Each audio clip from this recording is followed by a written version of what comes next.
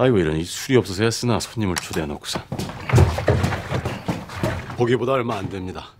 아, 우리 형님이 생긴 거와 다르게 술이 약해서. 자,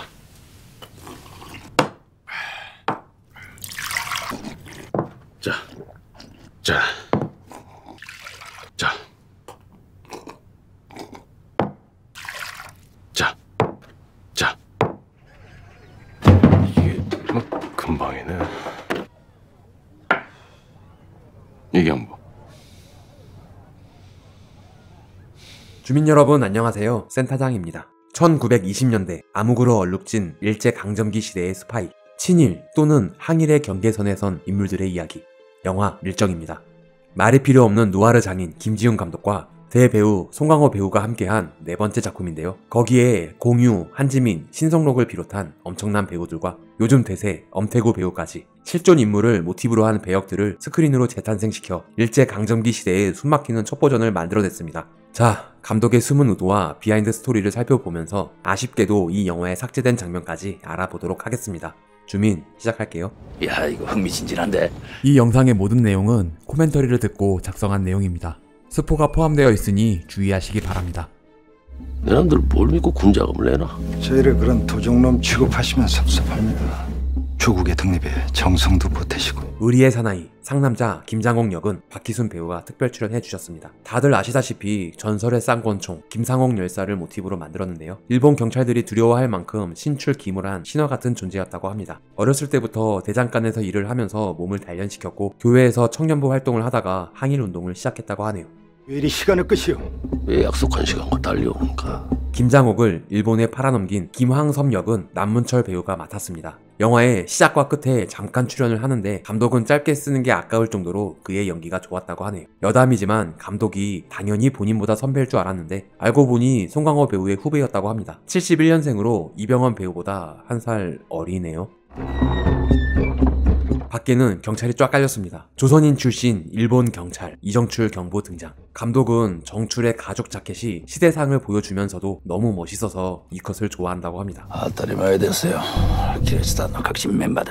송강호 배우의 일본어 대사는 너무 자연스러워서 실제 일본인들도 인정을 했다고 하네요. 정옥이 내 말 들리나? 나 이정출이야. 들을 필요도 없다는 듯이 발사되는 선빵. 이 영화에 headshot이 많기도 하고 잔인한 장면이 좀 있어서 심의에 걸릴 뻔 했는데 독립운동에 관한 이야기여서 15세 판정을 받을 수 있었다고 합니다. 이어지는 총격전, 김장옥이 도망칩니다. 그를 쫓는 경찰들. 경찰들이 지붕 위를 달리는 추격신은 음악과 잘 어우러져 영화 초반부터 몰입도 오지게 만들었는데요. 해외에서도 지금까지 보지 못한 신선한 액션 디자인이라는 평을 들었습니다. 문경 오픈 세트장에서 촬영을 했는데 지붕과 지붕 사이가 너무 멀어서 사이사이 지붕을 더 만들어 넣은 후 동선을 짰다고 하네요. 박희순 배우는 특별 출연으로 3일 촬영이라고 알고 왔다고 합니다. 그런데 이런 촬영을 8일 동안 하게 됐다고 하네요. 날씨는 또 나 춥고 매일 밤에 찾아와 하소연하는 걸 송강호 배우가 잘 달래줬다고 합니다. 영화의 intro는 종로의 효제동 인근 화장실에서 순국을 했다는 기록으로 남겨진 김상옥 열사의 마지막을 모티브로 설정했습니다. 이 사건에 실제 일본 경찰 1000명 가까이 동원됐다고 하는데요. 영화에서는 제작비 문제로 경찰 인원을 축소했습니다. 감독은 일본 군인들을 쥐떼들이 몰려다니는 것처럼 보이고 싶었는데 옷도 까맣고 하니까 표현이 잘 된 것 같아서 만족했다고 합니다. 어후 총을 맞은 발가락을 떼어내는 김장호 이 장면에서 아 김지훈 또 시작이야 라고 하는 관객들이 많았다고 하는데요 감독은 숨이 쌍관으로 엔딩에 나오는 김장옥의 사망 통지서와 연결 지으면서 나중에 장옥의 죽음을 안타까워하는 정출의 정서를 설명하기 위해 이 컷을 의도적으로 길게 썼다고 합니다. 아무리 그래도 나중에 보니 좀 길긴 하다며 좀 짧게 할 걸 하는 후회를 잠깐 했다고 하네요. 우리 얘기 좀 하자. 정옥이 윗놈들은 나라 팔아먹고 나 같은 놈들은 동포 팔아먹고 그래서 먹고 살만하냐?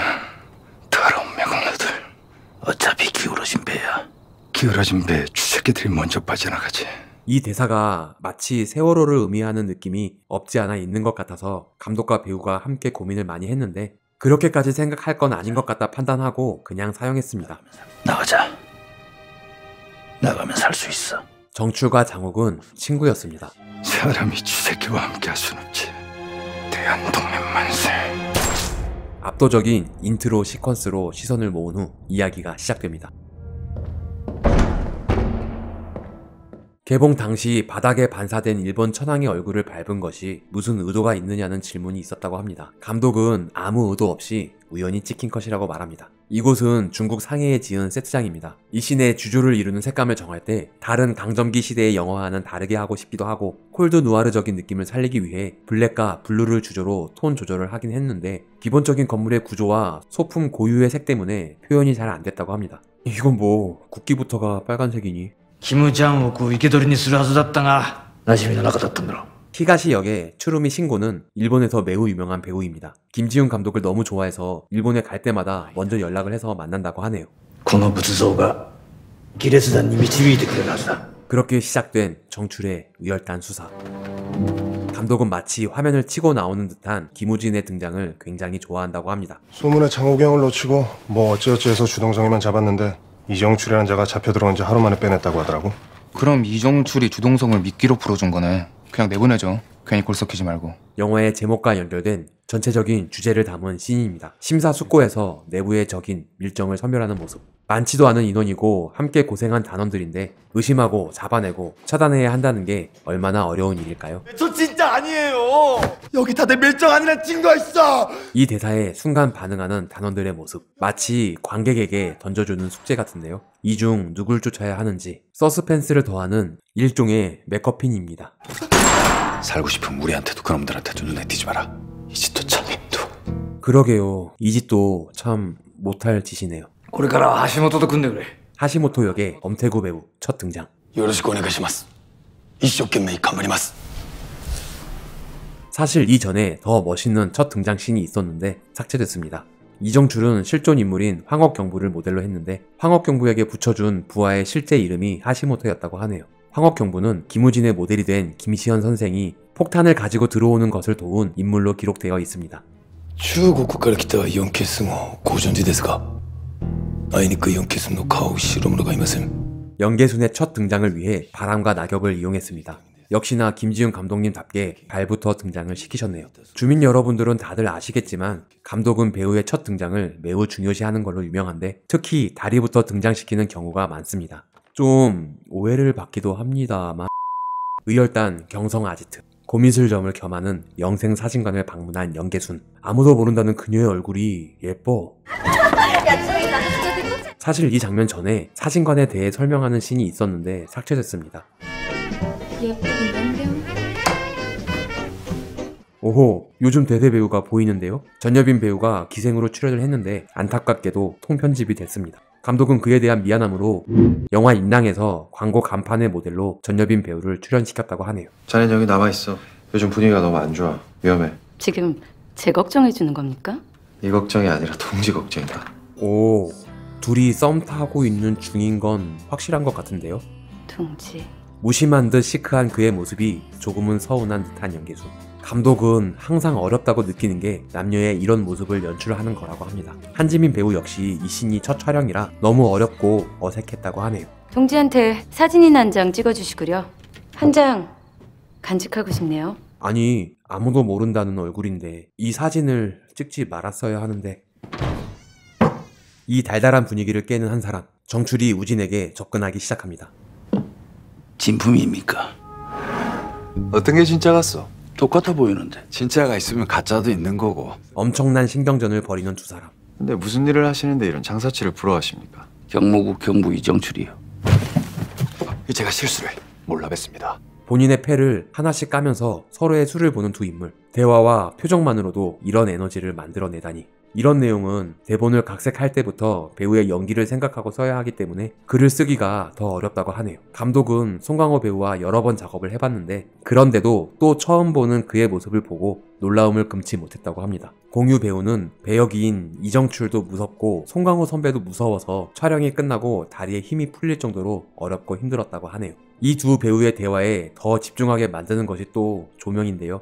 조규영 조명 감독은 송강호 선배가 조명을 치기 어려운 얼굴이라서 힘들었다는 인터뷰를 한 적이 있습니다. 공유 배우의 얼굴은 선이 살아서 조명이 잘 먹는데 송강호 배우는 음...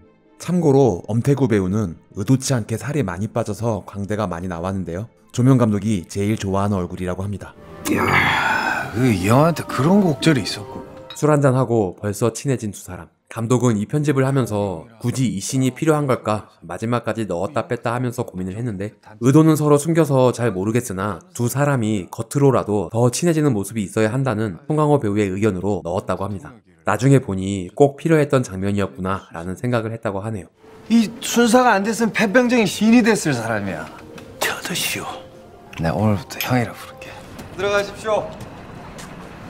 이 공간은 중국 배경일 때 자주 나오는 공간입니다. 영화 암살도 이곳에서 찍었고 새끼에서도 이곳이 나오네요. 이렇게 헤어진 후 눈빛이 달라진 두 사람.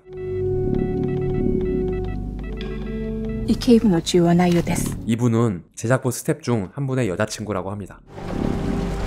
카카듀는 우리나라 최초의 다방 이름에서 따왔다고 합니다. 이곳은 새끼에서 탕웨이가 앉아있는 곳에서 찍었다고 하네요. 채유와 배우도 마치 탕웨이처럼 분위기를 잡았습니다. 의열단이 경성에 들어오면 여기 동선으로 움직인다고 봐야죠. 이게 왜 뜯어져 있어? 너 혹시 누구 보여준 사람 있어? 정출의 정보원, 김사희의 정보를 가로채는 하시모토. 이 씬은 원래 나오자마자 바로 문 앞에서 대화를 나누는 씬이었는데 비가 오는 바람에 차 안으로 자리를 옮겨 찍었습니다. 차 밖으로 땅이 젖어 있는 게 보이네요. 너는 사진관으로 가. 하시모토 애들이 시기 전에 빨리. 하나코 역은 독립 영화의 슈퍼스타 정하담 배우가 맡았습니다. 강렬하고 독특한 이미지에 반해서 섭외했다고 하네요. 中に荷物がありますけど、運んでくださいますかはいこれを持っていけばいいんですか 의열단의 모든 선이 노출됐습니다. 기도리니 싫어 또 있다는 자전거를 탄 수녀는 원진아 배우가 맡았습니다. 우진도 몸을 피합니다. 감독은 이 컷이 영화의 전체적인 톤앤 매너를 한 컷으로 보여주는 것 같아서 SNS에 공유 사진을 공유하기도 했다고 합니다. 어, 라임이 죽이네. 그리고 이 장면의 스틸은 드라마 도깨비에서 묘비 사진으로 쓰였습니다. 연계순을 놓쳐 빡이 칠 대로 친 하시모토. 어이구, 불꽃 싸다구. 원래 시나리오에는 이렇게까지 연속으로 때리는 건 아니었다고 합니다. 그냥 서 있다가 슛이 들어간 게 아니라 역할에 몰입한 상태에서 뛰듯이 들어오자마자 때리다 보니 그만 극대노를 이렇게 폭발시키고 말았다고 하는데요. 감독은 맞아야 하는 정도원 배우에게 하시모토의 악마 같은 기운이 느껴지는 리액션을 해달라고 했다고 합니다. 그 direction 덕에 이렇게 맞으면서도 버틸 수 있었다고 하네요. 맞아요. 이런 살벌한 모습은 엄태구 배우의 실제 모습과 너무 달라서 이런 연기를 해버리면 다른 배우들이 적응을 못한다고 합니다. 작작 좀 하자. 독립군 잡는 데 순서라도 있는 겁니까? 종재산나 상하이 일사도 유조호가 있다.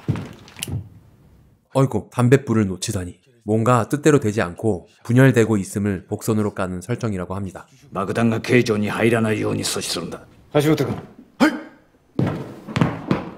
이렇게 총총 뛰어가는 건 전 테이크에서 넘어져서 조심스럽게 뛰어가느라 이런 장면이 나왔다고 합니다. 팔을 붙이고 뛰어가는 게 신의 한 수인 것 같네요. 와, 씨. 밑에서 이렇게 치고 올라오나? 이정출에게 위기가 닥쳐왔음을 보여주는 장치로 설정했습니다. 君はいいジョンチルをどう思うかね 이 장면 후 히가시와 하시모토가 정출에 대한 대화를 나누고 君はどこの出身だ 유주 출신です 하시모토의 출신을 알려주는 신이 있었는데 삭제됐습니다. まだ幼少の頃に日本に渡ったので朝鮮については何一つ覚えていません 상해로 도망쳐온 의열 단원들. 이전에 우진이 개순에게 다 털렸으니 상해로 피신하라는 메시지를 전하는 장면이 있었는데 삭제됐습니다. 우리 안에 물정이 있는 겁니까? 상해로 먼저 들어가 뒤따라갈 테니까 정출이 상해의 우진을 불러내는 서신을 보냅니다. 우진이 잘 지냈는가? 내가 기니 자네와 의논할 일이 생겨 상해로 가네. 이제 더 이상 여기도 안전하지 않게 되었습니다. 약산 김원봉 선생을 모델로 만든 인물 정채산 역은 이병헌 배우가 특별 출연했습니다. 아니 특별 출연이 이렇게 영화를 씹어 먹어도 되는 거야? 사실 이 장면 전에 우진과 채산이 고서점에서 접선을 하고 조직에 노출됐으니 상해로 피하라는 출처불명의 족장을 받았습니다. 만약 그 쪽지를 이정출이 보낸 거라면 이정출이란 자가 만만한 사람은 아닐 겁니다. 누군가 염탐하는 장면이 있었는데 삭제됐습니다. 아니면 그 미끼 우리가 먼저 봅시다. 반간. 적의 첩자를 역으로 우리 첩자로 만든다. 저는 반대입니다. 놈들의 목표는 단장님이지 않습니까? 나 추운 상태에서 너무 오래 찍다 보니 좀 힘들어서 이 얼굴은 한지민 배우가 졸음을 억지로 참고 있는 얼굴이라고 합니다. 그에게도 분명 마음의 빚이 있을 거예요. 그걸 열어주자는 겁니다. 마음의 움직임이 가장 무서운 것 아니겠소? 이 대사가 영화의 가장 중요한 세계관을 담은 대사입니다. 하시모토 사마, 계조가라 오데가 데스. 정출이 상해에 가기 전 하시모토를 염탐하는 장면이 있었는데 삭제됐습니다. 하시모토는 이미 우진과 회령의 얼굴을 알고 있었네요. 하시모토 대사.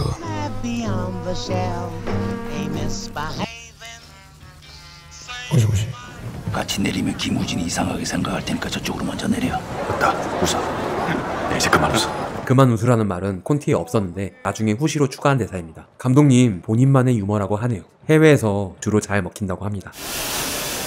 강렬한 이미지 하일수 역의 허성태 배우 등장. 허성태 배우는 사실 눈을 깜빡이는 특장애가 조금 있는데 카메라 앞에서 연기를 할 때만 멈출 수 있다고 합니다. 그게 가능하다고? 정말 대단한 배우인데요. 의열단 내부에 우리 쪽 밀정이 있다고 생각하고 있습니다. 이정출 경부동선은 계속 따라다니면서 파악하고 있지. 이 장면 이후 이 둘이 상해의 영화 제작소에서 어린 밀정과 접선을 하고 얜 도대체 하는 게 뭐야?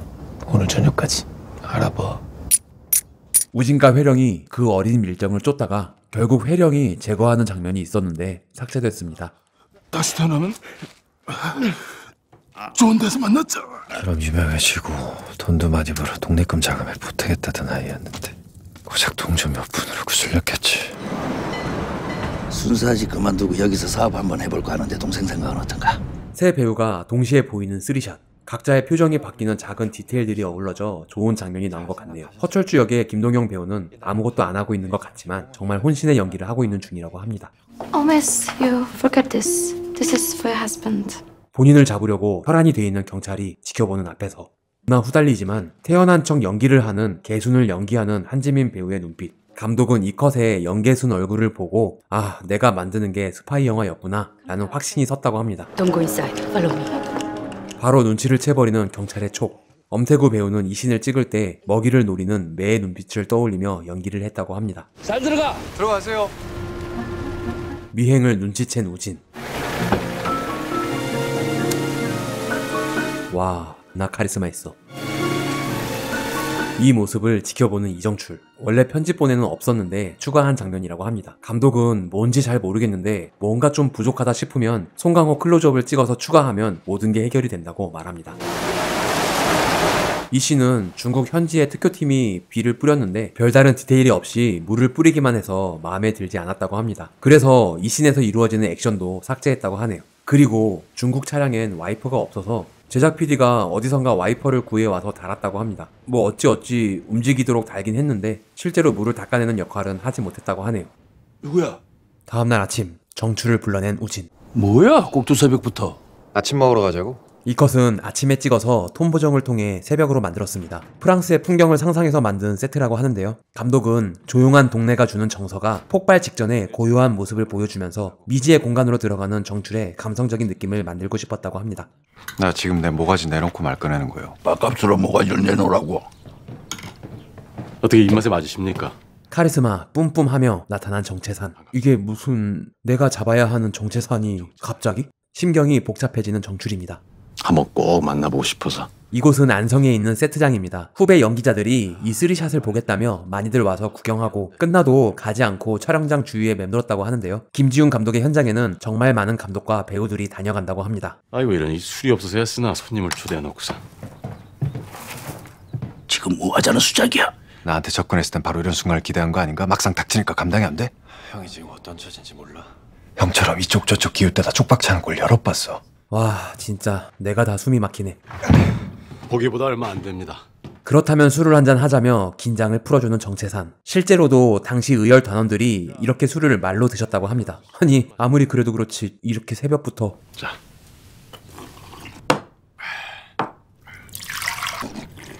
자.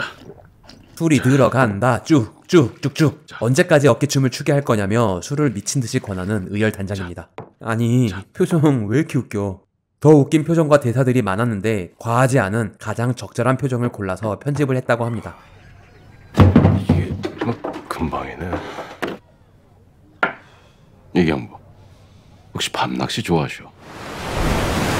여긴 강릉의 바닷가 군사구역이라고 합니다. 제가 생각이 바뀔 수도 있습니다. 난 사람 말은 믿지 않습니다.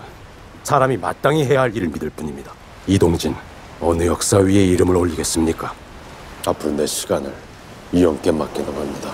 와 화면의 톤과 배우의 살아있는 표정이 진짜 죽이는데요. 나보고 뭘 어떡하라는 거야? 우리 무사히 경성만 가면 돼요. 이 장면은 원래 바닷가 장면과 연결지어 배 위에서 이루어지는 대화였는데 수조 세트를 만드니 어쩌니 하다가 그냥 길에서 이루어지는 장면으로 바꿨다고 합니다. 의리 없는 귀신은 안 될 거요. 다시 만날 땐 내가 어떻게 변해 있을지 장담 못해.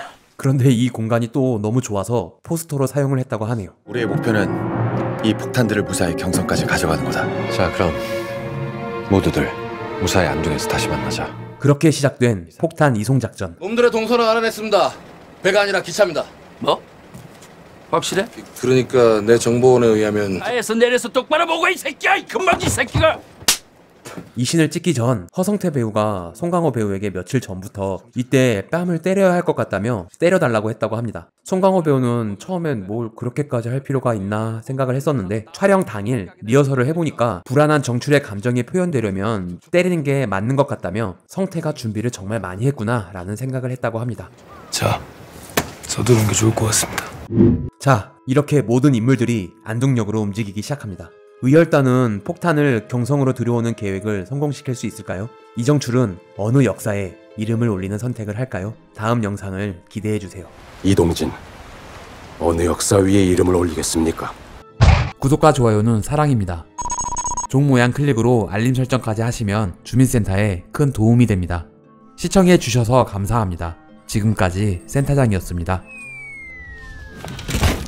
다음에 또 봐요.